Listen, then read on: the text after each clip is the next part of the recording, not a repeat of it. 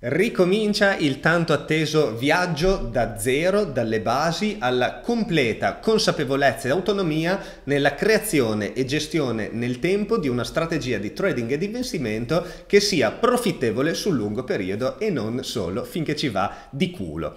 Siamo alla seconda stagione che tratterà l'operatività, quindi nella prima abbiamo parlato di concetti, di tanta teoria utile, mi raccomando, a tal proposito, se non l'avete ancora vista, recuperatela subito, altrimenti rischiate di non cogliere appieno il contenuto e il suo valore della stagione 2, quindi vi lascio qua la playlist con tutti gli episodi passati.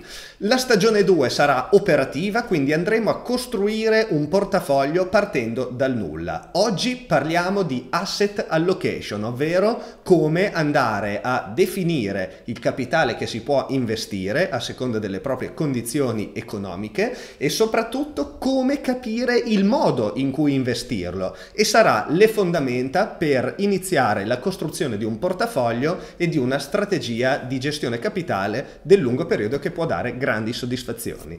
Buonasera amici cripto investitori e ben ritrovati a tutti quanti. So che l'aspettavate da tempo, ve l'ho fatta sudare, ma perché ho voluto voluto farla, ci tenevo a farla con eh, molta precisione e completezza, non buttarla lì in poco tempo. Ora è arrivata e se riesco un, una puntata alla settimana ve le faccio uscire tutte, ne ho già fatte moltissime e vedrete che saranno ricche di contenuti e spunti operativi soprattutto. Andremo a imparare la gestione di un trading system, la gestione di un trading journal, un diario di trading, andremo a capire come integrare trading e investimento, ma con esempi concreti, non solo a parole parole, quindi spero che apprezzerete come avete apprezzato la stagione 1. Se apprezzate sempre a tal proposito i miei contenuti, i miei video, tutto quanto, mettetemi cortesemente un like, mi basta quello e mi fate sentire gratificato e mi gasate, mi fate venire voglia di produrre contenuti sempre più di qualità. Iscrivetevi al canale, mi raccomando, e cliccate la campanellina per non perdervi nemmeno un video di quelli che faccio uscire. Infine, seguitemi sui canali social di cui trovate i link in descrizione. Ora basta chiacchiere e andiamo a vedere vedere questa asset allocation, come impostarla. Ricominciamo questo viaggio con la seconda stagione di Trading Consapevole partendo dall'asset allocation, che è il primo discorso da affrontare in termini operativi, in termini concreti, per costruire delle solide fondamenta alla propria strategia di investimento e trading. Quindi i discorsi di cui parleremo oggi con l'aiuto, con l'ausilio di queste slides che vi ricordo sono scaricabili gratuitamente dal link a Google Drive che trovate qua sotto nella descrizione, eh, parliamo di Tolleranza al rischio, quanto rischiare, come rischiare, quali sono le diverse classi di rischio a seconda degli asset, quanto esporsi in termini proprio eh, di monetizzazione, di, di, capitale da utilizzare, insomma tutto quello che c'è da sapere per partire, detto in maniera molto molto semplice. Poi da qui nelle puntate successive andremo ad approfondire sempre di più in maniera prettamente operativa, stavolta ve l'ho detto, non parliamo più di concetti perché li do per scontati, do per scontato che abbiate seguito la prima stagione stagione e vi consiglio di farlo se non l'avete ancora fatto, qui parliamo proprio di eh, pratica, quindi appunto bypassiamo tutti i discorsi teorici e le parole. Iniziamo quindi con gli obiettivi del nostro investimento. Alla fine eh, di queste slide farò un piccolo raffronto tra investimento e trading, che sono termini utilizzati spesso e volentieri in maniera impropria, nonché uno al posto dell'altro, eccetera, eccetera, ma come vedremo sono due termini che si integrano l'uno con l'altro, nel senso che uno uno eh, va a sopperire l'altro, sono due, due operatività diverse che si sposano bene però l'una con l'altra e secondo me quello è l'ottimo. Cosa, perché noi dobbiamo investire? Allora, qui ho elencato una serie di motivi potenziali che ognuno potrebbe avere, chiaramente ognuno ha il suo, che può essere tutelare il capitale dall'inflazione, quindi eh, evitando di lasciare cash nel, nel, conto, evitiamo appunto di farci erodere ogni anno quel 2% o quello che è eh, imposto appunto dall'inflazione. I prezzi aumentano, il denaro perde di valore. Ottenere un'ulteriore fonte di rendita, quindi liberarsi, se vogliamo, dalla schiavitù del solo stipendio come unica fonte di entrata, giornata e questo è l'inizio, diciamo così, spesso di um, un percorso verso l'indipendenza e l'educazione finanziaria, che l'ho riportato anche sotto come ulteriore obiettivo dell'investimento, ma spesso lo scoprire cosa vuol dire avere un'altra fonte di rendita derivante dai propri investimenti um, sveglia molte persone, ecco, accende una scintilla. Creare o crescere un capitale familiare da tramandare in eredità, questo per lasciare qualcosa, insomma, agevolare la vita di chi verrà dopo di noi, lasciandogli appunto il nostro nostro eh, patrimonio che abbiamo accumulato oppure mantenuto, se a nostra volta lo abbiamo ricevuto, nel tempo. È una cosa veramente importante. Crearsi un fondo pensionistico privato, quindi se vogliamo eh, mettere da parte qualcosa in più, oltre a quello che eh, magari i fondi comuni pensionistici già danno, possiamo appunto crearlo con un'ottica ovviamente di, di lunghissimo periodo in questo caso e mh, mm, andare a integrare appunto la, la rendita anche con dei piccoli investimenti chiaramente poi impostati con un'ottica adeguata perché a seconda poi degli obiettivi dovremo avere un'ottica con un orizzonte temporale differente. In pratica, riassumendo tutto quanto, lo scopo di un investimento, che va, questo, questa frase va bene per tutti, è far crescere il proprio capitale nel tempo il più possibile controllando il rischio. Questa è una frase che sembra banale ma non la è, perché qui abbiamo due variabili, ovvero il più possibile e controllando il rischio. Il più possibile mi impone di andare a cercare quegli asset che crescono di valore più degli altri, però controllando il rischio è una cosa che va contro quest'ultima quest'ultima affermazione, perché solitamente gli asset con maggior potenziale di crescita sono quelli più rischiosi e quindi mettere insieme queste due cose, ovviamente trovare il punto di ottimo tra rischio e rendimento è sempre la, l'equazione fondamentale dell'investimento, nonché il santo graal se vogliamo, eh, deve essere esattamente il nostro scopo e questo si ottiene con diverse tecniche che andremo a imparare e approfondire in, queste, in questi episodi. Iniziamo dalle basi, ovvero io devo decidere quanto posso permettermi di investire e per fare questo devo farmi conti in tasca, banalmente. Io non posso fantasticare su investimenti folli se poi faccio fatica ad arrivare a fine mese, chiaro? Bisogna essere estremamente onesti e sinceri con se stessi. Domanda da farsi è quanto posso permettermi di allocare nell'investimento? Chiaramente non è che bisogna farlo tutto in una volta, si può eh, ogni mese, ogni semestre, ogni trimestre, ogni anno, insomma, in base a diversi fattori che che poi dovrò valutare io personalmente in base a quello che mi entra, a quello che mi esce, banalmente, durante il corso del, dei mesi, eh, posso valutare appunto con periodicità di dedicare una fetta di capitale a un portafoglio di investimenti, fare dei piani di accumulo, fare, eh, insomma, allocare quel capitale lì al portafoglio di investimento. Quindi avremo, immaginatevi virtualmente due eh, conti diversi, quindi uno è il conto cash che mi tengo lì in banca e l'altro è il mio conto dedicato agli investimenti, che potrà essere cash oppure per l'appunto investito. Però è dedicato appunto a un capitale da investire. Quindi facciamo un calcolo molto semplice, partiamo dalle mie entrate che sono le fonti di rendita che già ho, quindi stipendio, proprietà, redditi di qualsiasi tipo, ciò che mi entra. Da questo ovviamente devo sottrarre le spese fisse, quello che devo pagare, debiti, affitti, bollette, tasse, insomma tutto ciò che esce e eh, esce in maniera periodica, spese fisse per questo, perché sono facilmente prevedibili. Spese variabili, anch'esse da detrarre dalle entrate, tutto quanto va detratto dalle entrate in verità, perché l'entrata è il flusso di cassa in ingresso, poi abbiamo diverse uscite e alla fine uscirà il capitale investibile.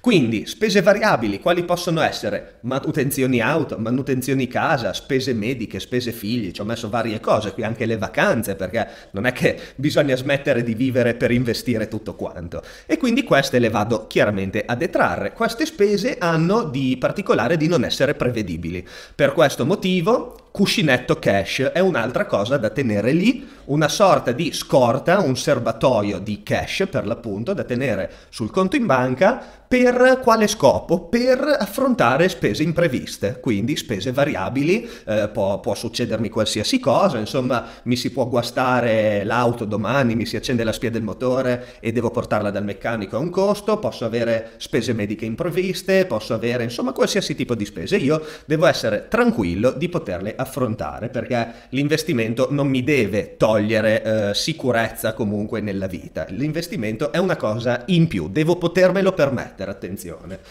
La rimanenza da tutto ciò quindi rimane come capitale investibile, ok? Quindi eh, già si capisce che se io non ce la faccio, la cosa su cui posso agire sono le spese variabili e le entrate, quindi posso lavorare di più oppure spendere di meno. Fondamentalmente per avere più capitale l'unico modo è quello, è inutile girarci intorno e raccontarsi favole. Mi raccomando, non investiamo quando non ci possiamo permettere di farlo, perché altrimenti rischiamo di eh, detrarre trarre capitale dal cuscinetto cash che ci può sempre servire appunto per gli imprevisti vari. Quello è molto più importante di avere un capitale investibile. Piuttosto eliminiamo spese non necessarie, cerchiamo di aumentare le entrate e allora lì poi vado a investire l'eccedenza. Il mio quadro economico ovviamente influirà anche sulla mia tolleranza al rischio. Se ho maggiori spese e quindi dovrò, eh, non lo so, avrò bisogno di un cuscinetto cash un po' più grande, io investirò di meno e quello che investirò magari non è che voglio perderlo, vorrò magari avere un minor rischio a fronte di un minor potenziale rendimento. E questo ovviamente è una cosa personale, devo sapere io quanto sono tollerante al rischio in base alla mia condizione economica, in base al numero di figli che ho, in base al numero di de- alla quantità di debiti che ho, insomma è tutto un discorso personalissimo lì, non mi addentro nei particolari perché ognuno ha la propria situazione e deve sapere quanto può permettersi di eh, investire e rischiare. L'importante è seguire queste, eh, questi preconcetti, ok? Nozioni importantissime che vanno a integrarsi con quanto detto poco fa. Il capitale investito non mi deve minimamente condizionare la vita, ok? Quindi non devo mangiare pane e acqua per eh, ridurre le spese variabili e avere più capitale da investire non devo investire troppo rimanendo senza liquidità, quindi senza il cuscinetto cash detto prima, sì, devo rinunciare agli sfizi inutili se voglio avere maggior capitale investibile. Posso eh, semplicemente, con, insomma, tenendo dei, dei budget mensili, vedere dove vado a spendere di più o di meno e dove potrei evitare di spendere di più o di meno, vizi e cose varie, e dedicare quel capitale al eh, portafoglio di investimenti. Fidatevi che basta anche quello che sembra poco per eh, riuscire a cambiare poi nel corso del tempo la propria situazione. Se si è costanti, se si riesce a focalizzare bene i propri obiettivi, si riesce a ottenere veramente grandi risultati con piccole rinunce. Ovviamente ci vuole il mindset adeguato.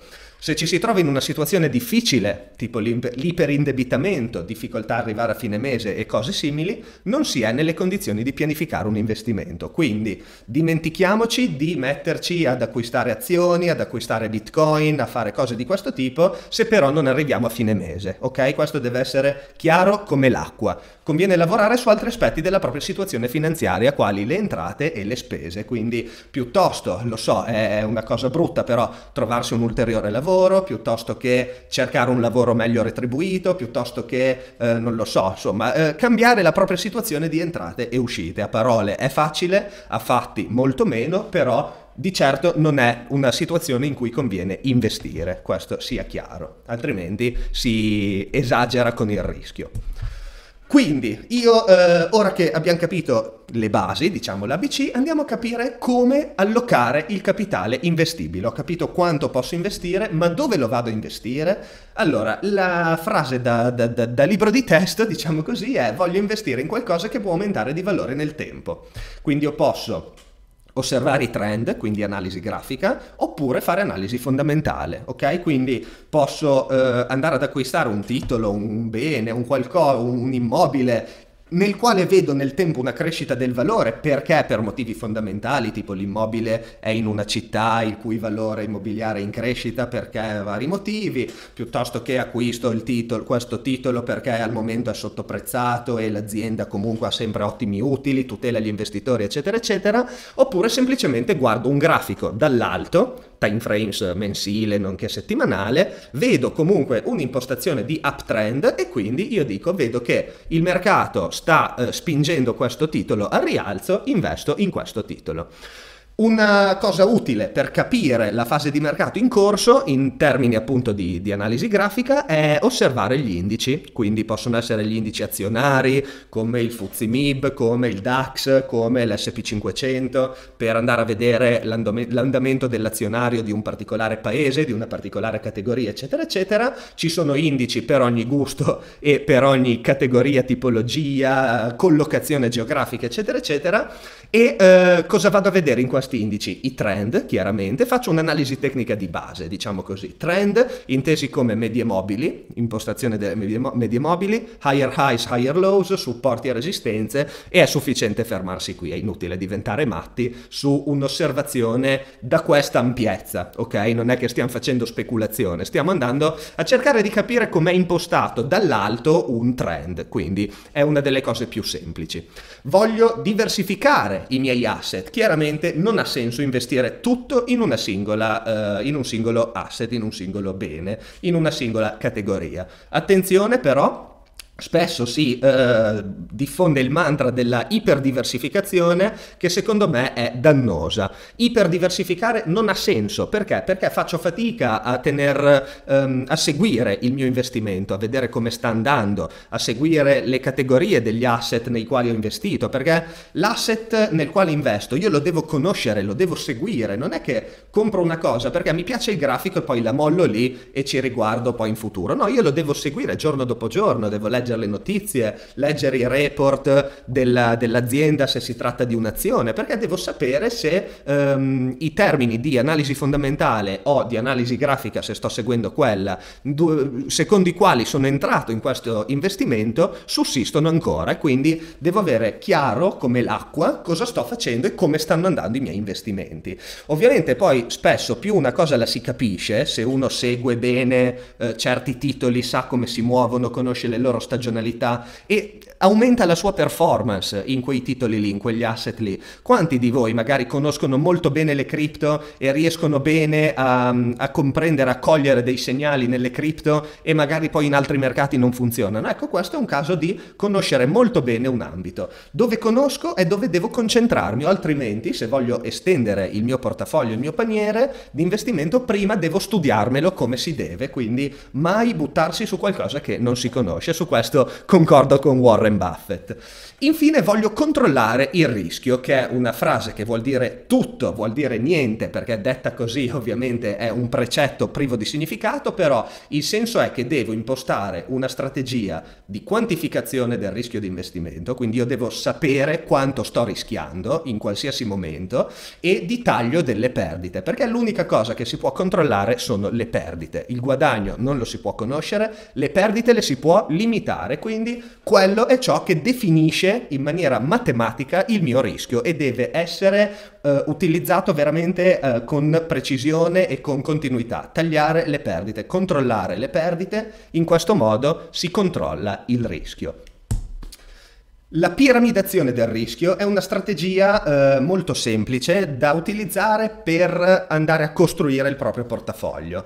Cosa significa? Immaginiamoci appunto una piramide, dalla base alla punta, la base è più ampia, la punta è più stretta. La base deve essere solida. Cosa significa? Significa che la base del mio portafoglio, ovvero la parte più consistente, deve essere fatta da asset a rischio più contenuto, ok? Questo per evitare di sbilanciare il mio portafoglio a un portafoglio troppo speculativo, cosa che non è, diciamo adesso, poi ci sono sempre eccezioni, eh, però solitamente non è cauta, non è furba. Se dove, mi immaginassi di parlare con l'investitore medio, mi sentirei di consigliare questo. Utilizzo per esempio dei, degli asset che danno un rendimento, mi posso immaginare delle, dei titoli azionari eh, di, da cassettista come può essere, non lo so, io ad esempio eh, poco tempo fa ho acquistato delle azioni dell'ENI in questa, in questa ottica, piuttosto che Coca-Cola, Pepsi, insomma quelle azioni che bene o male storicamente eh, hanno, cioè, rappresentano aziende ovviamente insostituibili e che possono soltanto crescere nel tempo, in quanto la concorrenza o non la conoscenza conoscono o comunque la dominano. E inoltre eh, mi danno una cedola, un rendimento, un dividendo, ok? Quindi questo è un, per farvi un'idea di avere una base del portafoglio, può essere una cosa di questo tipo. Con la maturazione di tali asset, poi più la mia base solida cresce e insomma eh, chiaramente ricevendo dividendi con la crescita del valore nel tempo, eccetera, eccetera, posso um, approfittare di una maggior cassa, di una maggior liquidità, con essa poi posso usare su investimenti più speculativi. Però attenzione, gli investimenti più speculativi li posso, mi posso permettere di farli soltanto una volta che ho la mia base che mi frutta nel tempo, ok? Quindi... Um, magari col rendimento del primo anno, per dire, di questi investimenti a rischio più contenuto, lo utilizzo tale rendimento per acquistare investimenti più speculativi. Chiaramente anche per questo vale il discorso del conoscere ciò che si sta acquistando e di sapere quello che si sta facendo. Però il discorso della piramidazione del rischio è importantissimo proprio perché vedo molte persone che invertono questo principio, ovvero non hanno voglia di guadagnare poco, non hanno voglia di ehm, magari magari hanno un capitale non troppo alto da investire, allora dicono, boh, io rischio, io oso, perché altrimenti tanto non ci guadagno niente. Ecco, questo è un discorso sbagliato, perché in questo modo si rischia, più di costruire un capitale, si rischia di distruggerlo, perché il rischio diventa eccessivo e ingestibile. Quindi piramidare il rischio in questo modo è una prima strategia fortissima per contenere e controllare il rischio, quello che abbiamo detto poco fa, ok? Questo è una concretizzazione di quanto detto prima in maniera molto più astratta. Esempio banalissimo, eh? ovviamente qua non c'è neanche tutte, non ci sono tutte le categorie di asset che esistono. E abbiamo un diagramma d'albero, capitale investibile lo splittiamo medio-basso rischio, medio-alto rischio. Questo per dare un'idea di come si può eh, splittare ad esempio un capitale investibile. Medio-basso rischio, ovviamente alla base abbiamo bond e cash, dove insomma è la, la liquidità fondamentalmente. Ovviamente adesso il discorso bond diventa meno, meno conveniente del cash, quindi è, è quasi da, da, escludere del tutto, visti i rendimenti negativi, e azioni da cassettista o ETF. Ecco, adesso io non sono qui per parlarvi dei diversi asset esistenti, magari in futuro ne potremo parlare, però eh, ETF sono, detto in parole povere, delle sorte di fondi indicizzati, quindi c'è l'ETF, che ne so, del settore farmaceutico, l'ETF mercato italiano, l'ETF Standard Poor's 500, l'ETF delle azioni ad alto dividendo, insomma ce n'è davvero di tutti i colori e di tutti i gusti. Azioni da cassettista sono quelle eh, che vi ho citato prima, ad esempio, potrebbero essere, che ne so, Eni, eh, piuttosto che Coca-Cola, Pepsi, eh, Amazon, eccetera, eccetera, che eh, fondamentalmente sono in ottica di lungo periodo, danno una discreta sicurezza e una cedola, un dividendo. Ok? Medio-alto rischio invece Abbiamo tutti quegli asset più rischiosi come le cosiddette growth stocks, che sono quelle azioni un po' più volatili con maggior potenzialità di crescita ma maggior rischio, small cap, quindi le azioni, di, cioè le azioni a bassa capitalizzazione, materie prime, asset speculativi, real estate, potrei andare avanti fino a domani. E poi ovviamente abbiamo criptovalute, lending peer-to-peer, DeFi e CeFi, che sono quelli forse a più alto rischio in assoluto, ok? Poi ovviamente anche qua non non esiste una, una, classifica obiettiva, oggettiva del rischio, è personale. Io ho incluso, vabbè, le, come asset a maggior rischio, le cripto per ovvi motivi di volatilità, il lending peer-to-peer perché io lo trovo rischioso, magari ne parleremo, ne potremo parlare in futuro, eh, ma insomma se ne parla tantissimo del lending peer-to-peer, ma ci vuole sempre un occhio di riguardo, DeFi e CeFi un po' per gli stessi motivi, quindi sono, si tratta davvero di ehm, allocazioni di capitale ad alto rischio. Chiaramente qua non ce l'ho messa, ma ci dovrebbe essere una piramide la cui base è qua sopra e la punta è qua sotto, perché la maggiore allocazione del capitale eh, vale la pena metterla su asset a rischio minore. Una cosa che non ho detto e che dico ora è che ovviamente la situazione di rischio, come dicevo all'inizio, è personale, quindi io magari ho 30 anni e quindi posso avere una tolleranza al rischio maggiore di una persona che magari ne ha 50 e si trova a dover pagare dei debiti e si trova ad aver, non lo so, due figli, eccetera, eccetera. Ovviamente in base alla propria tolleranza al rischio andrò a pesare un po' di più la punta della piramide o un po' meno, però il mio personalissimo consiglio è di farla comunque rimanere una punta e non farla diventare una base, altrimenti ci troviamo davvero con un portafoglio volatile e rischioso. Investimento o trading? Eccoci qua, qua vi volevo. Allora, investimento o trading sono due concetti diversi ma che si sposano bene.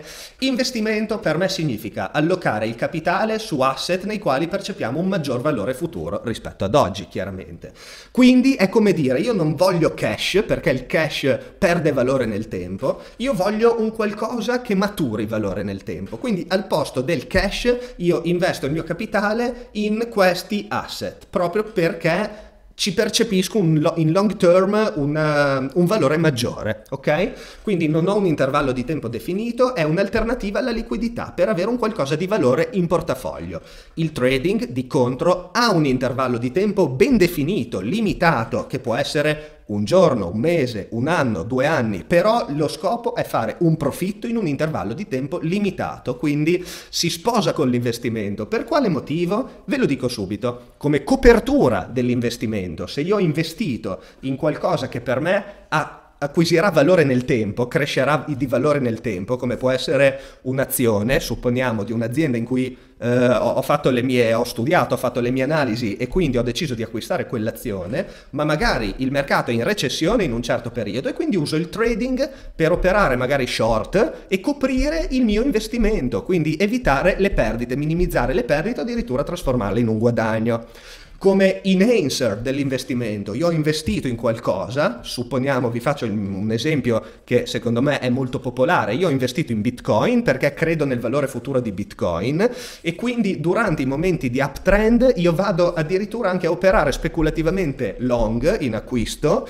andando a amplificare la mia posizione per guadagnare ulteriori Bitcoin. E al contrario quando scende, come dicevamo prima, come copertura lo vado a shortare, però questo senza eh, vanificare il mio investimento, ok? Rimane il mio investimento in Bitcoin e questo mi va ad amplificare i guadagni o a minimizzare le perdite. Ovviamente lo scopo è questo, perché poi il trading oh, comporta di per sé tutta una suite di rischi che andremo a vedere nelle prossime puntate, perché parleremo di creazione di un trading system e di come gestirlo e bisogna conoscerli. Però, detto in parole povere e semplici, il trading e l'investimento sono per me complementari.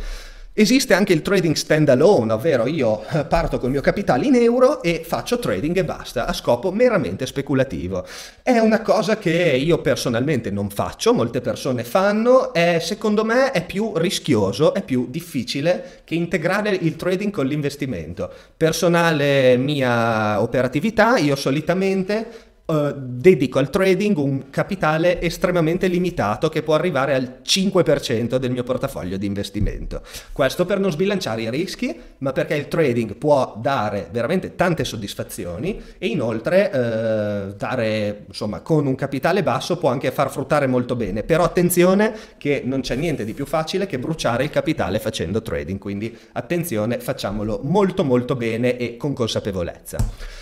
Per terminare, il ciclo di vita di una posizione qualsiasi, che sia trading, che sia investimento, è questo. Entry strategy, management strategy e exit strategy. Abbiamo queste tre fasi che si susseguono, ovvero l'ingresso, quindi io quando è che entro, quando è che acquisto, quando è che apro una posizione da cash ad asset, management, ovvero gestione investimento in itinere, copertura, amplificazione di esposizione, trading, oppure uscite parziali, cose di questo tipo, limitazione delle perdite, tutto ciò che è durante la posizione. E infine exit strategy, perché sia che abbiamo un investimento, sia che abbiamo una copertura o un, un, un trade, devo sapere quando uscire quindi magari investimento, esco quando un'azienda inizia a performare peggio del previsto e allora voglio andare a spostare il mio capitale da quell'azienda lì a un altro asset piuttosto che nelle fasi di iperestensione del mercato io la mia strategia prevede un'uscita. Bene, ecco, tutti questi discorsi qua.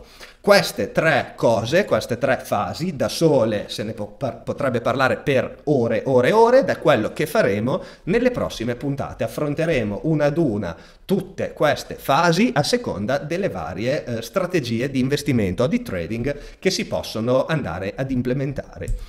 Termino ringraziandovi dell'attenzione e ricordandovi che ci vediamo la prossima settimana con la puntata numero 2, che non vi spoilerò cosa tratterà, ma ovviamente qualcosa l'avrete già capito, immagino, e vi ricordo che mi potete seguire su Telegram al link qua presente nella slide che è scaricabile qua sotto gratuitamente.